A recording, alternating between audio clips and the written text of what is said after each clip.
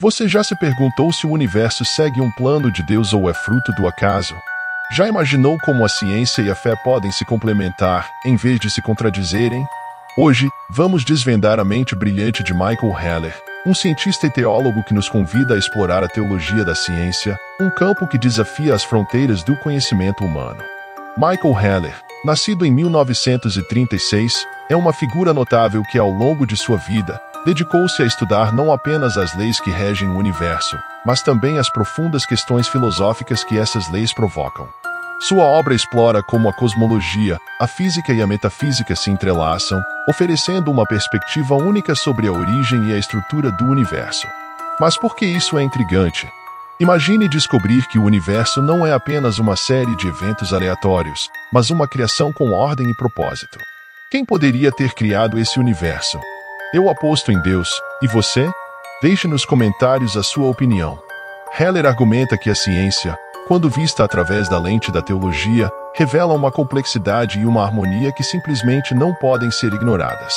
Ele nos leva a questionar: será que a existência de leis físicas tão precisas e bem ajustadas aponta para uma inteligência superior? Ou seja, Deus? Heller não oferece respostas fáceis, mas nos encoraja a pensar além do visível, a considerar a possibilidade de que ciência e fé, longe de serem opostas, são na verdade duas faces da mesma moeda e trabalham juntas.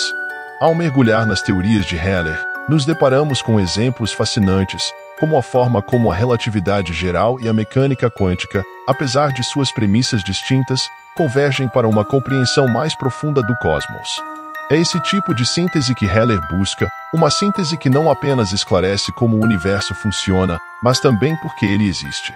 A ideia de uma inteligência superior frequentemente surge em discussões que entrelaçam ciência, filosofia e teologia. Esse conceito pode ser interpretado de várias maneiras, dependendo do contexto em que é mencionado.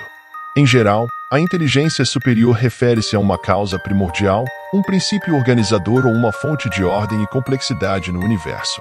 Então veja algumas interpretações e comente em qual você acredita ou acha mais fácil de explicar. 1. Deus ou entidade divina. Em contextos religiosos ou teológicos, a inteligência superior é frequentemente identificada como Deus ou uma entidade divina, que é vista como o criador e mantenedor do universo.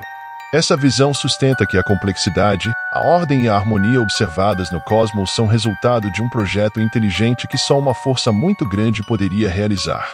2. Princípio metafísico. Alguns filósofos e cientistas podem se referir a uma inteligência superior de forma mais abstrata, como um princípio ou lei metafísica fundamental que explica a origem do universo e sua complexidade.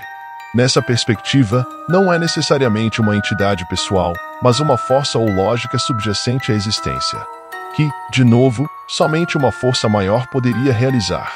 3 consciência cósmica. Outra interpretação é a ideia de uma consciência ou inteligência cósmica que permeia o universo e do qual a ordem e a vida emergem.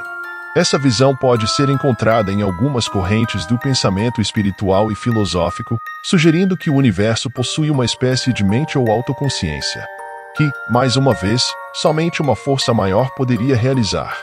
4. Simulação ou inteligência artificial. Em um contexto mais especulativo e moderno, discute-se a possibilidade de o universo ser uma simulação criada por uma inteligência artificial avançada pertencente a uma civilização tecnologicamente superior. Nessa hipótese, a inteligência superior seriam os criadores da simulação, que, mais uma vez, somente uma força maior e, muito maior, poderia ter criado essa civilização que nomeada como superior e assim poder criar essa simulação. 5. Princípio organizador natural. Alguns podem interpretar a inteligência superior de maneira não teísta como um princípio organizador inerente à natureza. Neste caso, não se refere a uma entidade consciente, mas a mecanismos naturais que levam ao surgimento da complexidade e da vida de maneira espontânea, guiados por leis físicas. Mas como essas leis teriam surgido? O que faz nos acreditar que esse princípio natural surgiu do nada? Não seria necessária uma força maior para criar esse princípio? Mais uma vez somos levados a acreditar que Deus criou tudo. Pois você já se imaginou dentro de uma matrix de simulação? Se sim, quem criou essa simulação nos daria a chance de acreditar em um Deus, sem ter a sua própria crença em um Deus? Ou se tudo acontece naturalmente, por que temos a capacidade de crer em um ser divino, e a ciência não consegue provar muitas coisas, como por exemplo, a matéria escura que une todo o universo. Alguns cientistas consideram a matéria escura como o seu Deus, pois ela que criou tudo, de acordo com eles, e está presente em tudo o que nos cerca. Alguns se perguntam: onde estava Deus antes de criar o universo? Ele estava em outro universo? Nosso universo está dentro de algo maior? E o que seria isso? Vamos pensar e tentar entender melhor essas questões, mas de uma coisa eu tenho certeza: Deus existe e está no meio de nós em tudo o que vemos e sentimos. Este vídeo é apenas uma introdução a um tema muito mais amplo e complexo.